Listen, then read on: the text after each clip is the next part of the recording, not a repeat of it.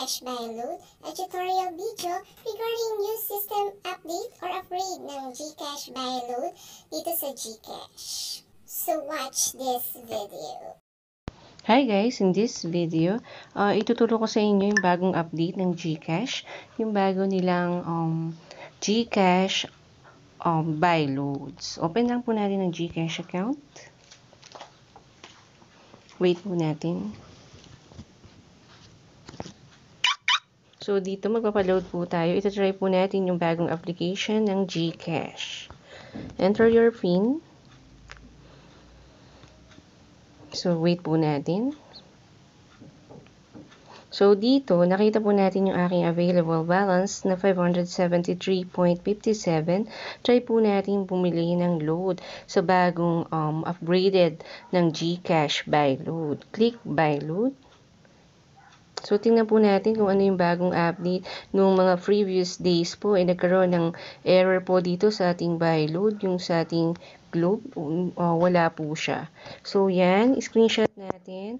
So, may mga telco po dito na iba-iba. So, makikita na po natin yung mga um, telco services like Globe, TM, Smart Dito, Cherry Prepaid, Globe, Globe Business, Smart PLDT Home.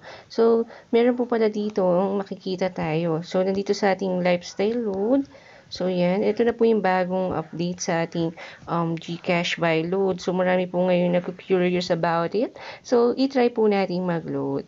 For example, isa kang Globe uh, SIM user. Click mo ang Globe. And then, um, by load for, make sure po na i-enter po nating number dito ay ang Globe. Globe number. And then, kung tayo po ay TM, Smart dito Telecom Cherry Prepaid. Ito na lang po yung available po na mga uh, services dito sa buy load. For example, maglo-load tayo sa ating Smart. So, enter natin yung number na lo-loadan natin. Yan. This is the example for Smart SIM. So, try po natin. So, i-check lang natin. Yan. So, click natin yung smart. And then dito, this number will be used to identify the telco provider. So, once na naklik mo na yung smart, um, enter the number, click na po natin yung next. And then, ang kalagay dito, are you sure the telco number you're buying load for is correct? So, make sure na ang telco mo ay smart and maglo-load ka sa number ng smart. So, kung okay na, once done na, eh, na-double check mo na ang number, click mo na ang yes, proceed. Kung nagkamali ka, click mo lang ang back. So, click na natin ang yes, proceed. So, yan, smart load for uh, my number. Kung gusto po natin ng regular load, pwede po tayo ditong pumili sa baba. Let's say, 50 pesos. I-click po natin sa ating regular load. Kung all-in naman, pili lang po tayo kung all Smart All Out Surf 20. Available for Smart and Sun only all net. 20 minutes TriNet calls. 150 MB open access. 100 MB per day FB. Um, valid for one day. So, ang gawin natin 50 pesos. So, all in na siya. And then, kung gusto lang po natin sa SERP, Giga Video 50, Giga Video 99. So, may mga options po tayong pagpipilian. So, proceed po tayo sa all-in dahil maglo-load tayo ng Smart All-Out SERP 50 And then, marami pa po tayong pagpipilian. Doon sa Sun Sulit Surplus, andyan din po yan.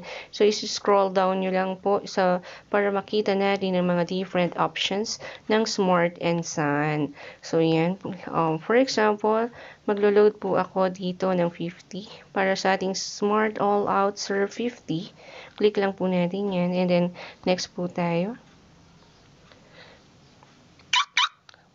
So, Gcash is running. Wait natin sa ating payment details. Kailangan po, oh, yan. Ito na po ang ating um, oh, screen. Makita po natin dito yung ating babayar na Smart All Out Sir 50 Pay with Gcash. So, yan po, babawas po yan sa ating um, wallet na may amount due po na 50 pesos. Sabi po dito, please review to ensure that the details are correct before you proceed. So, I'm, I'm already done checking my details. Click, check po natin itong pay 50. So, yeah. wait po natin ma-process.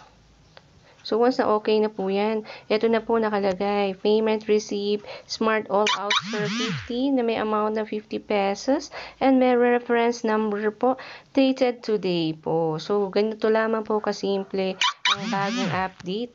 Ayan, itetext ka po ng Smart na meron kang ano po, um, na-load na po ng successful ang ating 50 pesos. So, idadan lang po natin. So, thank you for using GCash. Click OK.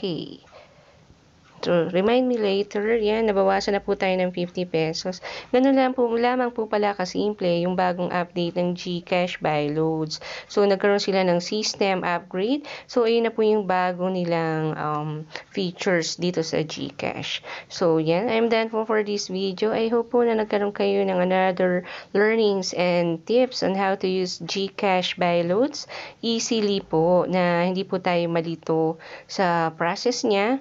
And I hope po na naintindihan niyo siya. Thank you for watching and this is uh, uh, Ernie. Thank you for um, subscribing my channel and have a good day. Thank you and bye.